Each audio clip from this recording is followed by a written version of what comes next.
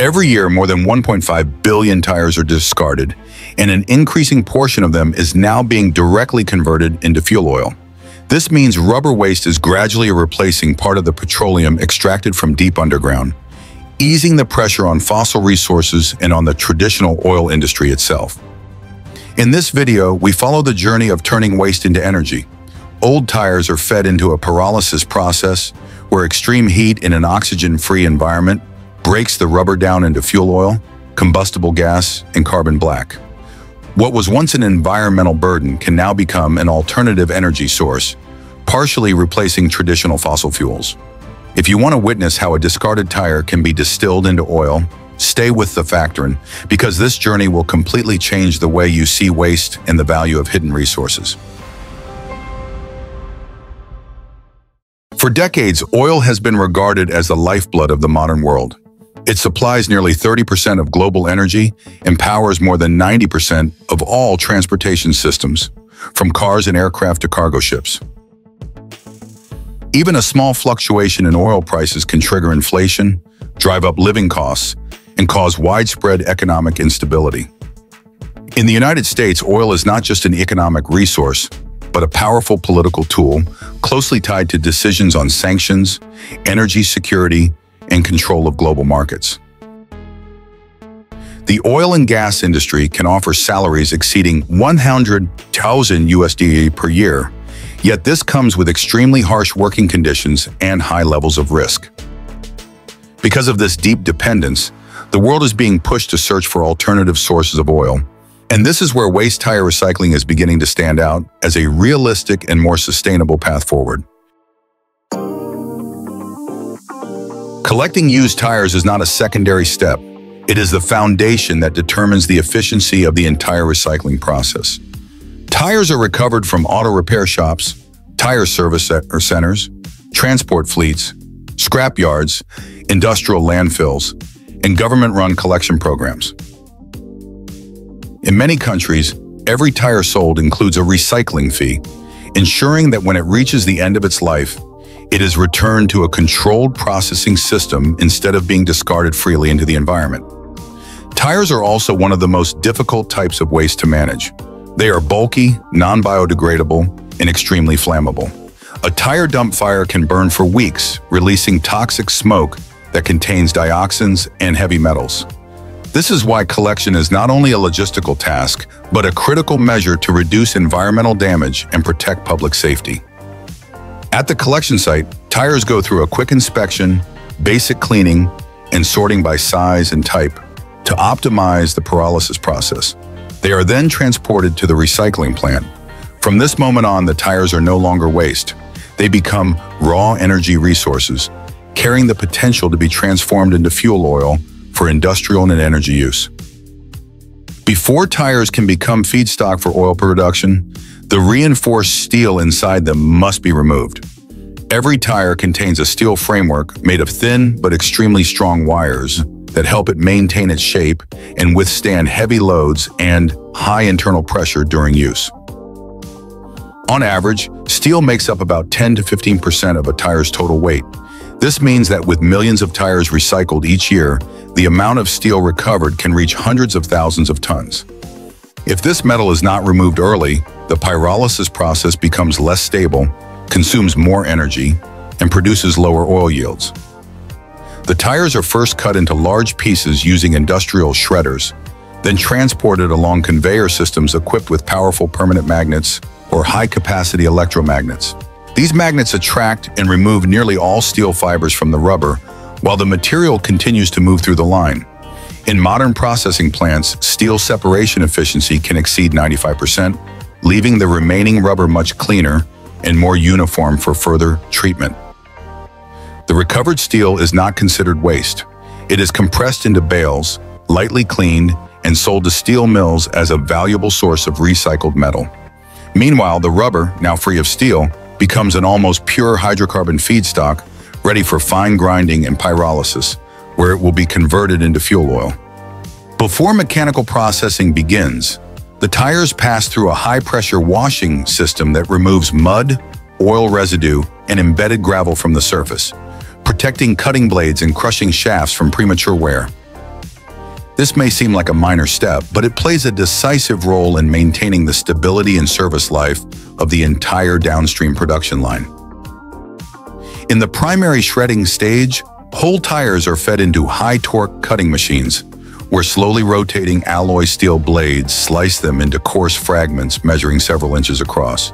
This low-speed cutting method minimizes heat generation, preventing the rubber from softening or sticking to the blades, while shaping the material into a form suitable for further processing.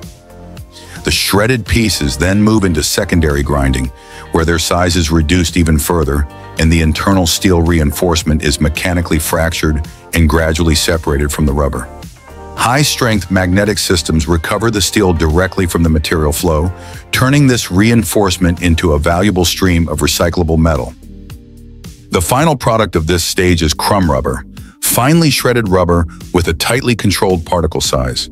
At this point, the tire has completely lost its original form and has become a hydrocarbon-based feedstock, ready for classification and feeding into the pyrolysis reactor for oil production. At the end of the line, all material passes through a screening system.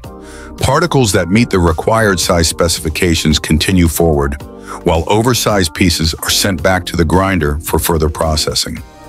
Among all the size fractions produced, the properly graded particles are the most critical because they form the ideal feedstock for pyrolysis distillation, where rubber is converted into fuel oil, combustible gas, and carbon black.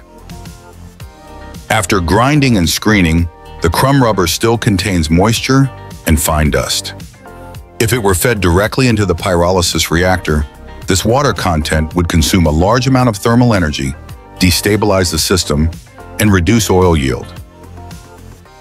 For that reason, the rubber particles must be completely dried before they can become an effective energy feedstock.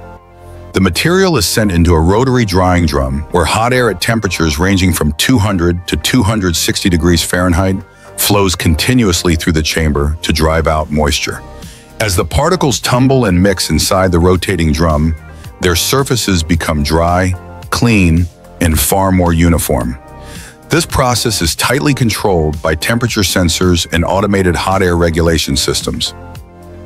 The goal is to remove moisture efficiently without overheating the rubber, which could cause partial burning or damage the polymer structure.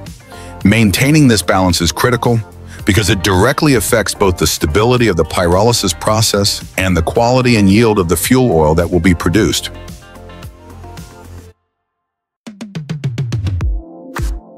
Once the crumb rubber has been completely dried, it is fed directly into the pyrolysis reactor. This is a heavy, thick-walled steel vessel, usually built in the form of a long cylindrical tube. It is fully sealed and insulated with multiple thermal layers up to keep the internal temperature stable. Depending on the design, the reactor may remain stationary or rotate slowly, but the core objective is always the same, to create an oxygen-free environment where the material is not burned, but instead broken down by heat alone. The entire system is fully automated, controlling feed rate, temperature, pressure, and gas flow to keep the process stable and continuous. As the rubber particles move deeper into the reactor, the temperature gradually rises to around 800 to 1000 degrees Fahrenheit.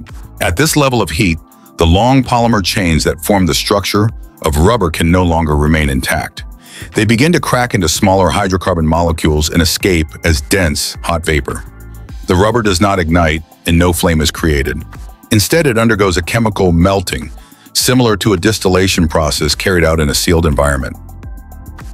The newly formed vapor is immediately drawn out of the reactor and sent into a rapid cooling system. Here, the heavier hydrocarbon compounds condense first, changing from gas into liquid and forming pyrolysis oil. This stream is the main product and the most valuable output of the entire process. Only after the oil fraction has been extracted almost completely does the remaining vapor continue further through the system. These lighter molecules do not easily condense under normal conditions and become pyrolysis gas. Rather than being wasted, this gas is routed back to fuel the reactor itself, helping maintain operating temperature and significantly reducing the need for external energy input. Meanwhile, the solid material left behind inside the reactor gradually transforms into carbon black, a carbon-rich solid that preserves the final portion of the tire's original energy. On average, every 1,000 kilograms of dried crumb rubber fed into a pyrolysis reactor produces about 400 to 450 kilograms of fuel oil, around 80 to 120 kilograms of gas that can be used to power the system itself, and roughly 300 to 300 kilograms of carbon black, hmm. which remains as a solid fuel or an industrial raw material. This means that from waste rubber alone, most of the tire's original energy is preserved in the form of oil and gas. Instead of becoming a disposal problem, discarded tires are transformed into a genuinely valuable energy source, turning industrial waste into usable fuel rather than something that simply needs to be managed or buried. From this point forward, the tire no longer exists in any physical form. It has been fully separated into three streams. Oil that is collected first, gas that is reused as fuel, and carbon black that remains inside the reactor.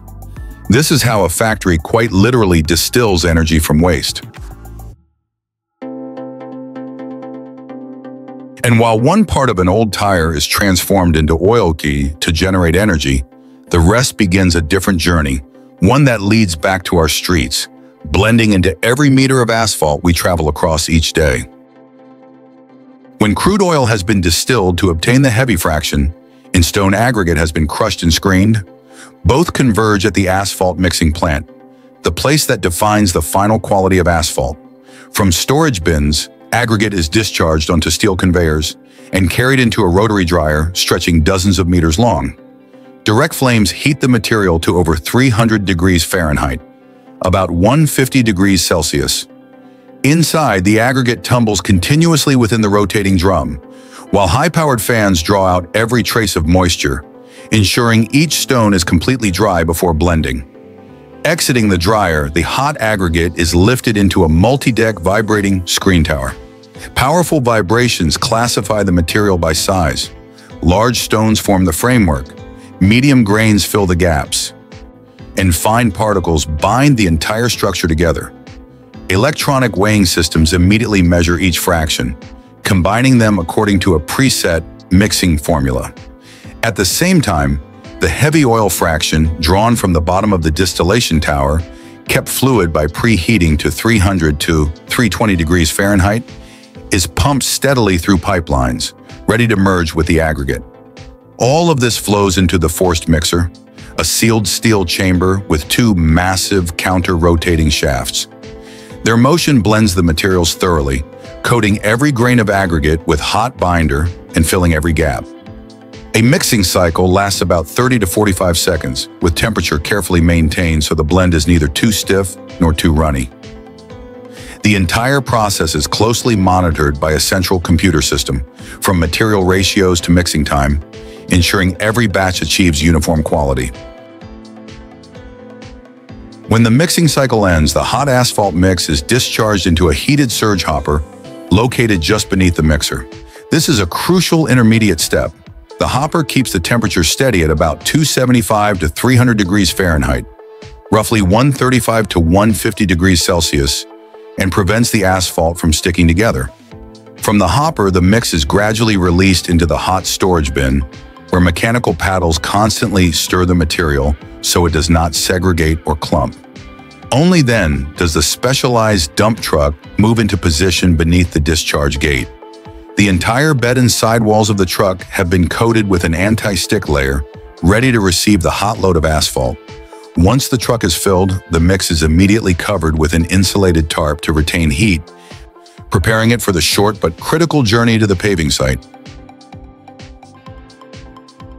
As soon as the dump truck leaves the plant, the hot asphalt mix must be kept at the proper temperature throughout the journey.